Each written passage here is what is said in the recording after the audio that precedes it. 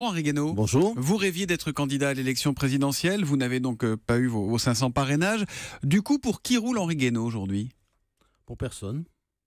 Personne. Mais si j'avais trouvé un candidat de mon, le candidat de mon cœur, je n'aurais pas essayé de me présenter à l'élection présidentielle. Hmm. Mais ça dit, Anissa le disait en vous présentant, vous êtes député Les Républicains des Yvelines. Les Républicains ont un candidat qui s'appelle François Fillon. Logiquement, vous devriez voter François Fillon. Non, ça- moi je suis un adepte inconditionnel de la Ve République. C'est la rencontre d'un homme et, et du peuple. Il y a pas, les partis n'ont rien à faire là-dedans. Les étiquettes de parti non plus. On n'est pas le candidat d'un parti. On est Mhm. candidat. Point. Voilà. Ce Donc vous ne voterez pas Fillon? Non, je ne voterai pas François Fillon, mais je l'ai dit depuis le début. Je l'ai dit euh, depuis qu'il a été désigné par la, la primaire de la droite et du centre. J'ai dit que je ne partageais pas son programme et que personne ne me ferait soutenir un programme pareil. Voilà. Et euh, ensuite, il y a eu toutes les affaires que vous connaissez qui ont encore accru la, la, la distorsion entre le, le, hum, disons mes valeurs et euh, et le programme de François Fillon. On peut pas aller à la rencontre des Français en leur disant ça fait 40 ans que vous vivez trop bien, maintenant il faut payer. Et en plus se trouver dans cette situation à, tort ou à raison, hein, que ce soit juste ou injuste, c'est ainsi. voilà. Ce matin, dans, dans Libération, Julien Drey dit qu'il aurait dû se retirer pour rendre service à la campagne présidentielle et à la vie démocratique. Je partage ce Partagé diagnostic. Mm. Alors vous êtes euh, assez courtisé, Henri Guénaud. Le, le Figaro, de son côté, croit savoir que le Front National aurait établi une liste de 19 personnes à soutenir parce que, disent-ils, compatibles avec le Front National. Et dans cette liste de 19 personnes, il y a Henri Guénaud. Est-ce que vous avez été approché? Oh, il y a eu des quelques tentatives de discussion euh, o- officieuses. Moi, je n'ai euh, donné suite à rien du tout. Je n'ai discuté avec personne, euh, à part des politesses sur les plateaux de télévision. Euh, voilà, je n'ai rien demandé. On ne m'a rien demandé, en fait. Il n'y a pas de rapprochement possible idéologique entre Marine Le Pen et Henri Guénaud? Non. Mm. Ah, Vous avez pourtant donné son, son parrainage hein, pour vous permettre euh, d'être candidat. euh. Et alors Il y a Bah, des gens, qui donnent leur, des gens de droite qui donnent leur parrainage à des gens de gauche. Il y a des gens de gauche qui donnent leur parrainage à des gens de droite. Il y a même des élus qui donnent leur parrainage à des candidatures fantaisistes. Euh, et Oui, puis il y en a, surtout. Il y pas en un a appel surtout du pied là quand même. Hein, c'est pas un appel du pied entre Attendez, Il y patriotes. en a surtout 35 000 qui ne parrainent personne et qui s'en font un titre de gloire. Voilà. Mm, mm. Qu'est-ce qui vous gêne dans, dans le programme de Marine Le Pen aujourd'hui? Oh, écoutez, on va pas. Moi, je suis pas venu commenter le programme de Marine Le Pen, mais euh, il y a dans le Front National une tradition, une histoire, euh, une culture, euh, un rapport à la politique et euh, et, et à la personne qui n'est pas le mien. Voilà. La sortie de l'euro aussi, c'est pas ça. On sait que c'est Ah, un la sortie de l'eau, oui. D'ailleurs, très intéressant de voir le glissement. Avant, on parlait de tout, au propos du Front National, de l'immigration, du racisme, euh, de, la, de la société. Maintenant, on ne parle plus que de la sortie de l'euro. Moi, j'ai déjà donné mon, mon sentiment euh, sur ce sujet. D'abord, c'est un débat qui, qui est parfaitement, Ce serait un euh, désastre, parfaitement hein, légitime. Voilà, c'est un débat parfaitement légitime. Je pense, pour ma part, que euh, le, si la France sort de l'euro, il n'y a plus d'euro et que l'onde de choc sur le système financier international est absolument imprévisible. Voilà. Mm. Je ne partage pas en revanche les arguments toujours avancés euh, selon lesquels la baisse de le- la sortie de l'euro ferait euh, nous ramènerait au franc qui serait dévalué et, et, et, euh, et qui provoquerait soi-disant euh, toutes les catastrophes que provoque euh, que provoquerait une dévaluation. C'est le vieux débat sur la dévaluation, ça fait 200 ans que ça dure. Euh, de temps en temps la dévaluation c'est bien, de temps en temps c'est pas bien. Je pense que si on n'avait pas l'euro, on se porterait mieux, mais je pense qu'il euh, faut, se mettre dans l'idée qu'en politique, comme dans les sciences, comme dans la nature, il y a des choses qui sont pas facilement réversibles, ou plutôt réversibles parfois avec des coûts exorbitants. Je crains que la réversibilité de, l'euro, en tout cas décidée à froid par un gouvernement français, euh, est un coût, euh, un coût de réversibilité qui serait exorbitant, qui ferait souffrir beaucoup de gens. En tout cas, c'est un risque que moi, je ne veux pas prendre moralement. Peut-être que l'euro explosera, c'est même possible dans l'avenir parce que il est construit n'importe comment, euh, en, en dépit de toutes les, les- tous les principes, toutes les lois de l'économie. Euh, mais euh, prendre la responsabilité morale de faire exploser le système financier international, enfin, prendre ce risque, euh, est un risque que moi, je ne veux pas prendre. Voilà. Je vous sens un peu dépité, Henri Guénaud, ce Non, matin. pas Je vous sens à trois semaines d'une présidentielle. euh, dépité, je un peu pas- éteint, je sais pas. Alors, François Fillon, ça vous plaît pas Marine Le Pen, Nicolas Dupont-Aignan, ça vous plaît Mais ou non, pas C'est souverainiste comme vous? Non, mais très bien, j'ai beaucoup d'amitié pour Nicolas Dupont-Aignan.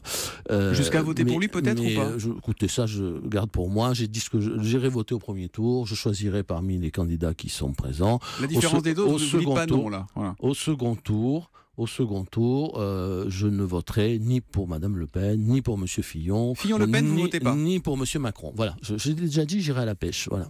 Vous irez là, vous vous maintenez, vous, vous, vous, le gaulliste, l'amoureux de la Ve République, vous eh n'irez pas pour la première fois de ma vie, je, je m'abstiendrai. Pour la hmm. première fois de ma vie, j'aurais fait tout ce que je pouvais pour éviter que nous en arrivions là.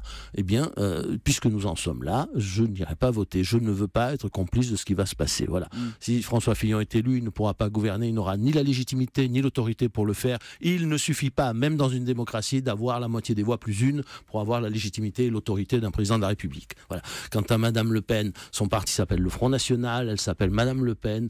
Quoi qu'elle dise, quoi qu'elle fasse, quel que soit son programme, de toute façon, le risque de voir deux France s'affronter euh, dès le début de, ce mandat est extrêmement grand. Il n'y aura pas de front républicain de la part d'Henri Guénaud non, à ce moment-là. Non, non, je ne sais pas ce que c'est que le front républicain, moi.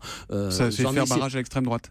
Mais dans ce cas, vous savez, le meilleur barrage à faire, si c'est l'extrême droite et si c'est si dangereux que ça, c'est de l'interdire. Voilà. Hmm. Si vous voulez pas interdire le Front National, il est dans le jeu pour républicain et, et, et, vous acceptez le résultat des urnes. Voilà. Simplement, moi, le résultat des urnes, il me plaît pas parce qu'il va dresser deux France l'une contre l'autre. Voilà. Donc, quant à M. Macron, il est probable qu'il n'aura pas de majorité ou en tout cas des coalitions, sera soutenu par des coalitions instables et qu'en plus, il n'a pas à mes yeux, il n'a pas à mes yeux ni la densité ni l'épaisseur d'un président de la République. Voilà. Donc, je ne participerai pas à cette farce dramatique, qui en réalité est une farce dramatique. Hein. C'est une, une tragique comédie plutôt tragique que, mm. Que, vous, parlez d'Emmanuel Macron euh, samedi, un, un Sarkozy historique comme vous, en l'occurrence Christian Estrosi, a reçu Emmanuel Macron. Est-ce que vous l'auriez fait, vous? Je, ne sais pas, pourquoi pas. Le, problème, il faut, revenir un instant, ça me permet de revenir un instant sur ce sujet. Euh, ce que j'ai, vu, moi, m'a effrayé à, Toulon. Je, veux dire, euh, on pense qu'on veut des positions, euh, des choix de, de, Christian Estrosi, mais je, je trouve qu'on file vraiment d'un mauvais coton dans cette campagne électorale. Qu'est-ce Qu'est-ce donc que ces salles, qu'est-ce donc que ces gens euh, qui en foule se mettent brusquement à, vociférer, à siffler leurs propres amis euh, L'enthousiasme militant, c'est très bien, mais l'hystérie, L'hystérie, ça, moi, ça me révulse. Voilà. Mm. Nous sommes entrés dans une espèce de phase un peu dans les campagnes électorales. Bah, écoutez, voilà, en 2007, voyez, on avait théorisé avec Nicolas Sarkozy euh, euh, le, fait de euh, qu'un discours politique réussi, c'était un discours dans lequel on qui permettait d'obtenir le silence de la salle, l'écoute attentive, la communion et le partage. Voilà. Hein, c'est, j'avais appris ça en écoutant Philippe Séguin. Euh, c'est un discours politique, c'est un discours qui fait partager quelque chose. Et un homme d'État, c'est quelqu'un qui tire à lui euh, la, foule des militants, qui tire à lui les gens pour essayer de leur faire partager une pensée, non pas quelqu'un qui va vers les gens pour se nourrir de leur énergie, pour se nourrir de leur, de leur euh, ou, de leur hystérie. Hein. Vous, le regrettez, Nicolas Sarkozy, du coup?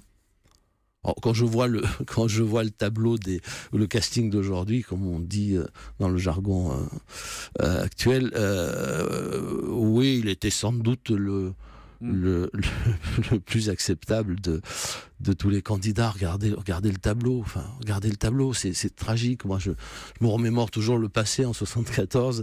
Les trois candidats principaux s'appelaient Valéry Giscard d'Estaing, Jacques Chaban-Delmas, François Mitterrand. En 88, c'était Jacques Chirac, Raymond Barre, mm. euh, François Mitterrand. Enfin, euh, je, me demande où nous sommes. Vous dites mm. dépité. Non, pas dépité, ni dépité, ni malheureux pour moi-même, mais, mais euh, dépité, malheureux pour mon pays. C'est, c'est, c'est cette élection présidentielle est un ratage complet. C'est l'élection la plus ridicule, la plus grotesque qu'on n'ait jamais vue depuis le début de la Ve République. Voilà, et ça va, et ça va avoir des conséquences qui seront très graves. Est-ce que c'est pas le signe que la Ve République est à bout de souffle? Non, c'est pas la Ve République qui est à bout de souffle, c'est la classe politique. C'est la classe politique? Hmm. La classe politique, un peu la classe médiatique. Il y a des choses beaucoup plus graves aussi derrière, parce que euh, est-ce que la Constitution américaine est à bout de souffle? Parce qu'elle a accouché de M. Trump ou est-ce que c'est la société qui est malade? Est-ce que c'est est-ce que au fond la société française, mais aussi européenne, et plus généralement l'Occident, euh, est confronté aujourd'hui à un malaise extrêmement profond? Mm. Et ce malaise, à force de s'aggraver, il donne un dérèglement total de nos démocraties. Vous allez voir partout. Regardez en Espagne, il a fallu des mois et des mois pour arriver à trouver un, un gouvernement. Regardez l'état de l'Italie, regardez la Grèce, regardez le Brexit, et puis Trump. Monsieur Trump, la plus grande démocratie du monde. Juste, pour finir, qu'on revienne deux secondes sur Nicolas Sarkozy, est-ce qu'en cas de défaite de la droite, c'est lui qui devra reconstruire son camp? Est-ce que vous lui lancez un appel? Non, moi je lance plus d'appel à personne. Euh, chacun prendra ses responsabilités et il ne s'agit pas de reconstruire un camp. Moi j'en ai. C'est, là aussi nous payons très cher euh, l'aveuglement partisan qui consiste à ne voir la politique à travers des camps. Voilà, si on se décidait à regarder son pays, ça serait beaucoup mieux que de regarder des camps. Moi je veux pas faire gagner un camp. Je sais que ça, ça énerve les gens qui hurlent dans les salles, les hystériques. Euh, mais les militants. Essayons. Les militants quand ils deviennent hystériques, oui, il y a des militantismes encore une fois. L'enthousiasme militant c'est très bien. L'hystérie militante c'est toujours dangereux. Ça dégrade la politique. Pensez à son. Moi, j'ai adhéré à une famille politique il y a très longtemps. On faisait passer son pays avant son camp. Est-ce qu'on pourrait revenir à un peu de morale politique? Sans morale, il n'y aura pas de bonne politique. il n'y aura jamais de réconciliation entre les Français et la politique. Vous allez vous représenter aux législatives ou pas Je n'en sais rien. J'attends de, que les, les présidentielles soient passées et je me déterminerai moi-même tout seul euh, en fonction du résultat et de, de l'idée que je me fais euh, de l'influence que je peux avoir sur l'histoire à venir. Merci beaucoup Henri Guénaud d'être venu ce matin en direct sur Europe 1.